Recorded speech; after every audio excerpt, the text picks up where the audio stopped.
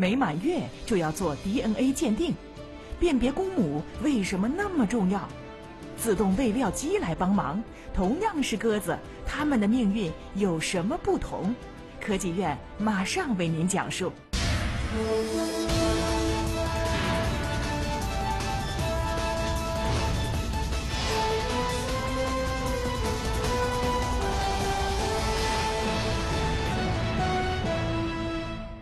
各位好，欢迎收看科技院。今天呢，想跟您介绍一位养鸽子的能人。湖南岳阳的方全民养鸽子已经有十来年时间了，一直以来他养的乳鸽在当地那是小有名气。可是最近呢，他却不急着卖鸽子，而是为鸽子做起了一项特殊的检测。这么小的鸽子，你们就拔它的毛啊？对啊，这个拔毛一定要越早越好。为什么呀？因为我们要给它做那个 DNA 鉴定。DNA 鉴定？没听错，就是 DNA 鉴定。这养鸽子就养鸽子呗，怎么还一只一只给他们做起了 DNA 鉴定呢？鸽子做 DNA，他们也要做亲子鉴定吗？那不是亲子鉴定，我们是用 DNA 分析它来鉴别它的公母，也就是雌雄鉴别。鉴别公母干什么呢？因为我们是做那个蛋鸽，我们蛋鸽是用的双母拼对，所以公鸽子就是没有用的，所以我们要提早用 DNA 把它鉴别出来。公鸽子没有用，那就得把公鸽子给刷下去。原来费这么大周折给鸽子做检测，为的就是把公鸽子给挑出去，只留下下蛋的母鸽子，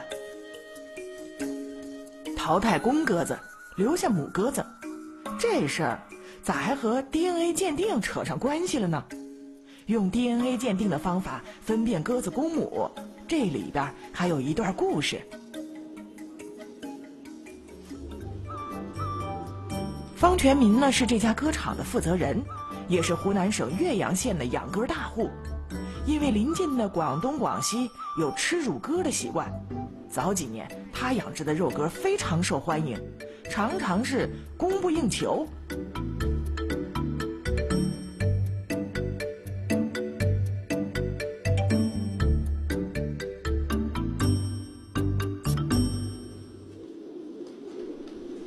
附近的村民看到方全民养鸽子赚了不少钱，也纷纷跟着养起了鸽子。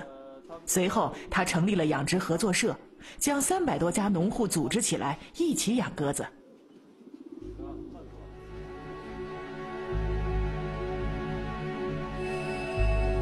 然而，正当鸽业日渐壮大之时，二零一三年，当地爆发了 H7N9 流感病毒。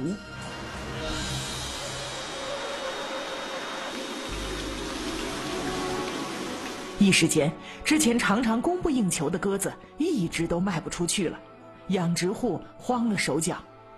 我们那个乳鸽啊，就市场啊，都卖不出去了，每一个乳鸽都卖不出去，我家里很多很多乳鸽了。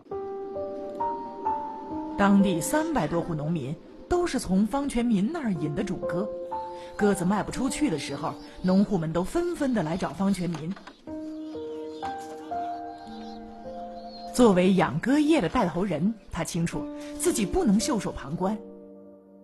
于是他到处筹集资金，把农户养殖的九十万只鸽子收购回来，全部宰杀掉。但是他自己的鸽子却没有宰杀，而是继续养着。他养的都是种鸽呀，生的鸽子蛋都是用来孵化。孵化出的小鸽子再养上一个月，就成为乳鸽来销售。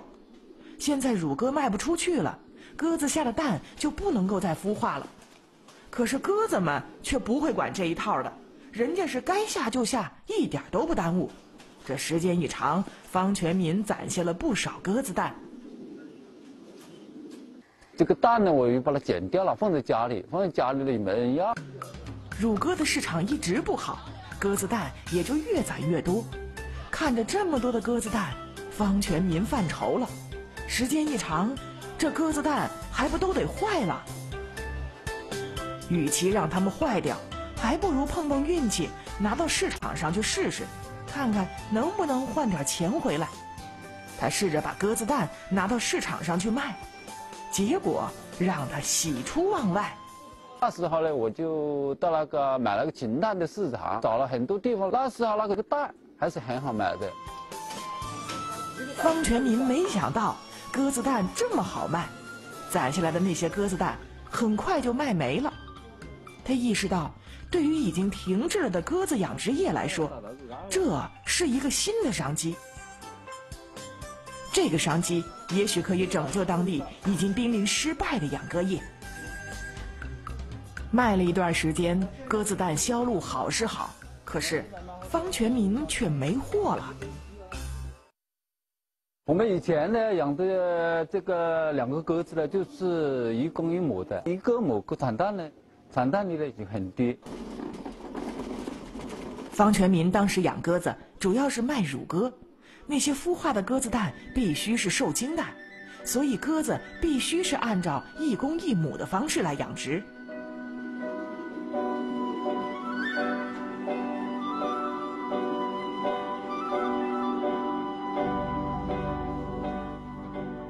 鸽子和其他禽类不同，鸽子产蛋很特别。一般像我们常见的家禽，比如说蛋鸡，一年能产三百多枚蛋；跟鸽子个头差不多的鹌鹑，一年也能产上二百七十多枚蛋。而鸽子算下来，一年也就是产个十八到二十枚蛋。鸽子下蛋很少。一般都是用来孵化的，所以在市场上也就很难见到鸽子蛋。咱们有鸽子蛋卖吗？鸽子蛋啊，嗯，鸽子蛋很少啊。鸽子蛋没买过，没有。呃，鸽子蛋比较贵，我们这是过节，呃，孩子回来了就买一点啦，吃一下。啊。平常还是吃的比较少。即便市场上有少量的一点鸽子蛋，那价格也是很贵的。你看哈，这有十个篮子，里面啊有两千个蛋。你别看这个蛋呀，它比较小，但是我告诉你，一个就能卖五块钱，这两千个蛋就能卖一万块钱。如果这一万块钱去买普通的鸡蛋，那可是能买一万多个呢。鸽子蛋之所以这么贵，最主要的原因就是它的营养价值比较高。鸽子蛋里含有大量的胶原蛋白。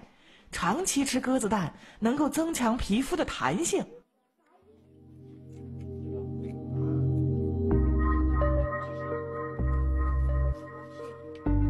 煮熟以后，鸽子蛋的弹性就会更加明显，就像是果冻一样，弹性强，正是胶原蛋白含量高的体现。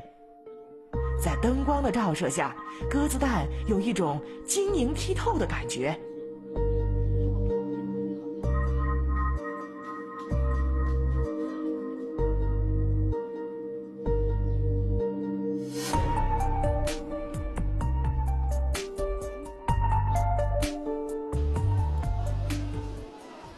营养高，产量少，所以鸽子蛋的市场很火。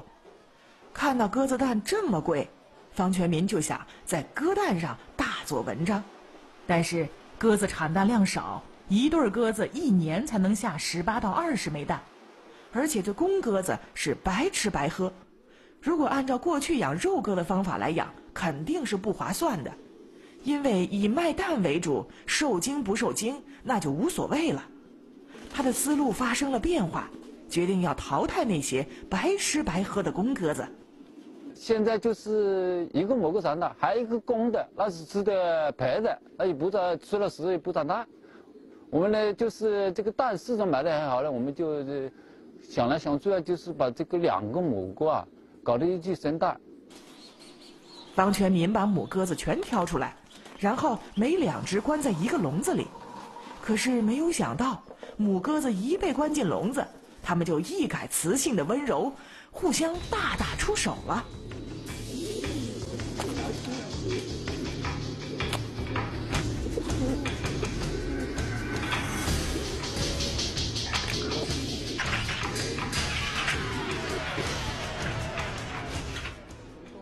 方全明请教完专家才明白，鸽子呀是有感情的。鸽子属于一夫一妻制的鸟，是对爱情最忠贞的动物。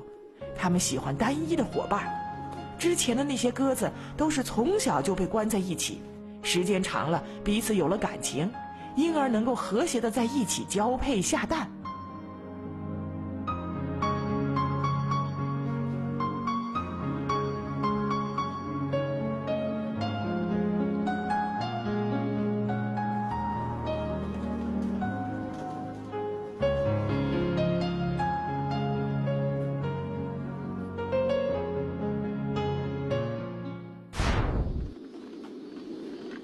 而现在，他们已经都是大鸽子了，原本有自己心仪的对象，非要把他们拆散，让两只彼此陌生的母鸽子重新搭伴儿。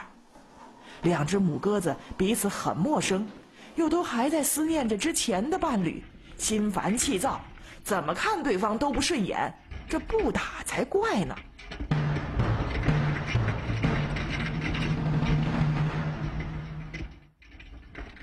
半道凑在一起的，彼此没有感情，合不到一块儿。为了让两只母鸽子能够和平共处，这感情啊，得从小就培养起。可是有一个难题摆在了方全民的面前：鸽子在四个月性成熟之前，几乎是无法辨别公母的。嗯，看不出来。鸽子啊，这个公母啊，呃，确实很难分，特别在小的时候。要到性成熟的时候呢，才能够从外表上辨别这个公母。过去传统的方法就是要养到四个月龄到五个月龄才容易辨别这个公母。要选出母鸽子，就必须把同一批孵化的所有鸽子养到四个月以后，才能够进行挑选。可是这样一来，没用的公鸽子就要多吃三个月的饲料。别看这鸽子小，可是方全民养了六十万只鸽子。这算一算，其中一半的公鸽子，三个月吃的花销，那可不是小数。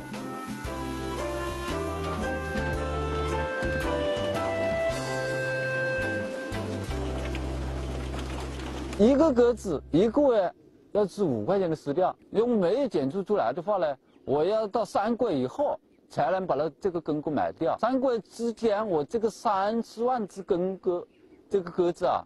就要把我那个撕掉，要吃到四百五十万。四百五十万元，那可真是一大笔钱呢。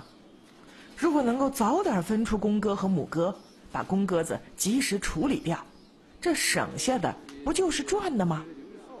于是方全民请教了不少老养殖户，寻找鸽子鉴别公母的方法。鸽子在四个月前，在外形上几乎分不出公母。无计可施的方全民决定找专家想想办法。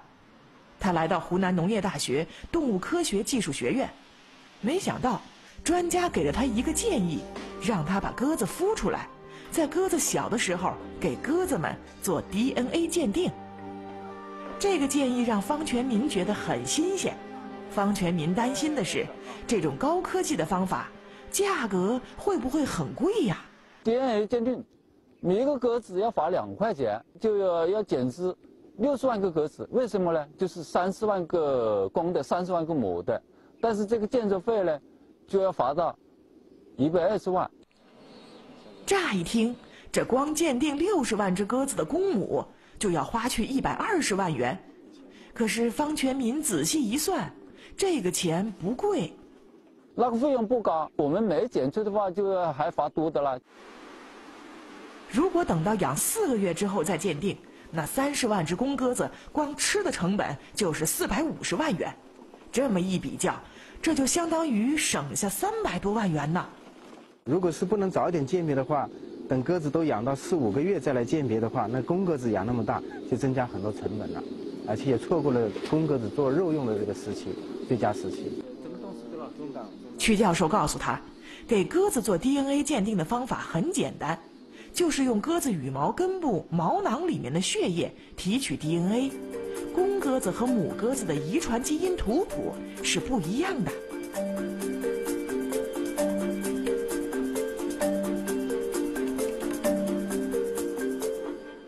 像这个甬道里面，上面的这个是黑点，代表是每每一个点代表一个甬道，所以这一列就是一个甬道。在同一个甬道里面，如果是两条带，就代表这个个体是雌的。这个甬道里面是一条带，那么说明这个鸽子是雄性的。是公鸽子还是母鸽子？通过基因的图谱一目了然。两条杠的是母鸽子，一条杠的是公鸽子。在湖南农业大学技术团队的帮助下，方全民的第一批鸽子通过 DNA 鉴别出了公母。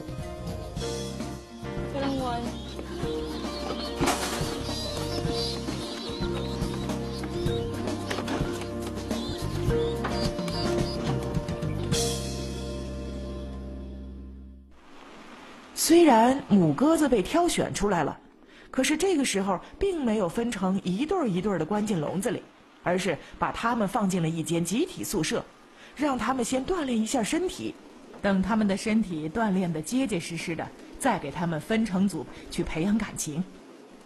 锻炼身体的一项重要手段，就是让它们飞起来。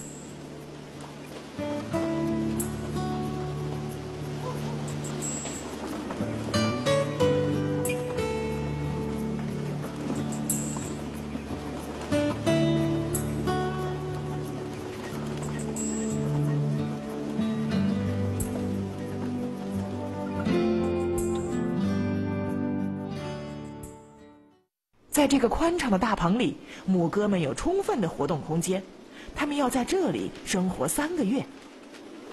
咱们这个一定要就是长度一定要达到三十米以上，然后要两百个平米，一般要两百个平米，不然的话它那鸽子空间太小了，它飞不起来，那到时候就没有这个放飞的意义了。飞行锻炼不仅让母鸽的身体强壮了，还有效的控制体重，因为它们要是太胖的话，下蛋就少了。这个训练看起来简单，却能让母鸽多产蛋和延长产蛋期两年。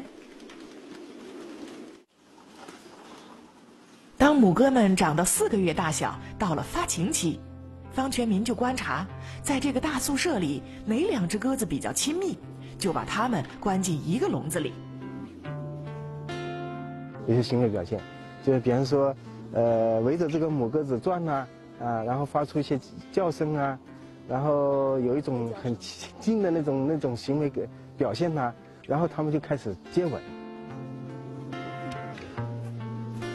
让母鸽子搭伴产蛋的办法看似大胆，其实也是有科学依据的。让它们搭伴在一起，是为了满足鸽子天然的习性。它们有了自己终身的伴儿，到了产蛋期才会安心产蛋。它生的蛋不需要再孵化。也不需要哺育小鸽子了，这样的话呢，它就可以不停的、不断的产蛋，这样的提高它的这个产蛋的这个性。鸽子有抱窝的习性，如果不及时捡走鸽子蛋，它们就会抱窝，一旦抱窝就停止产蛋了，所以一定要及时把蛋拿走。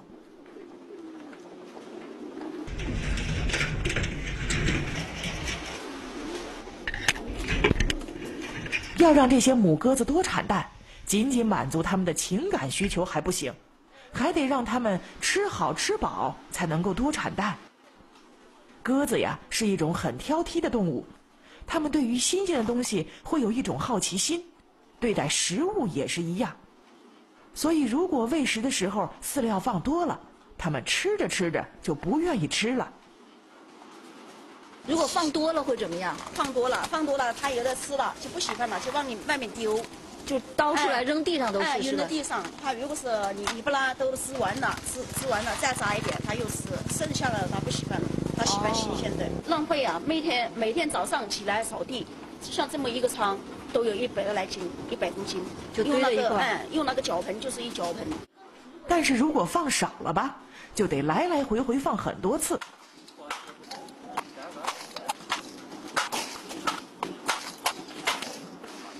鸽子的胆子很小，这人来来回回的走，它们就会受到惊吓，而且这人也累得够呛。这喂了一会儿啊，我的手都酸了。养殖场的工人告诉我说呢，他负责一千对鸽子，一天这种抓料、喂料的动作就得重复八千次，这数量可真不少。为了解决这个问题，方全民就想着能不能买一套自动喂料机来给鸽子喂料呢？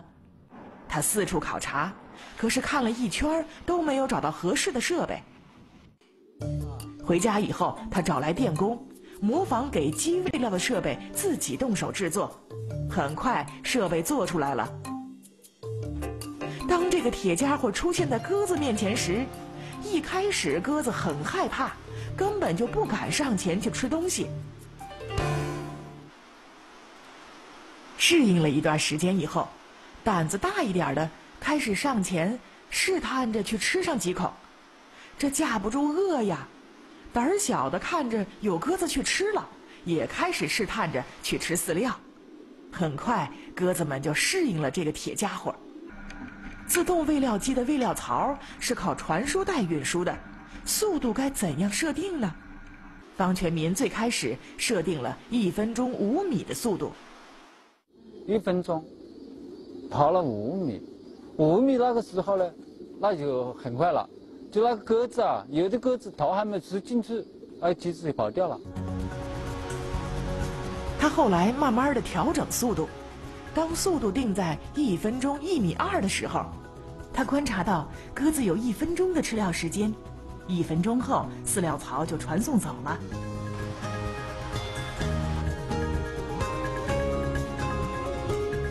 两个小时以后，鸽子消化的差不多了，饲料槽又传输回来了。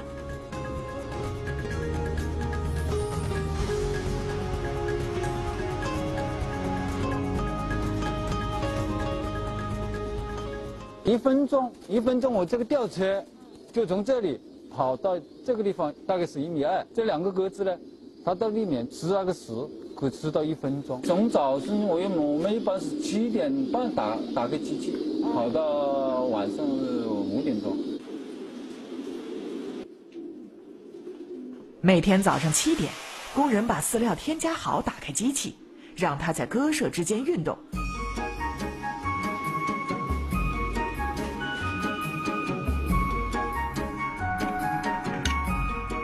自动喂料机安静的滑动，鸽子每次见到它都感觉新鲜食物来了，会赶紧吃上几口。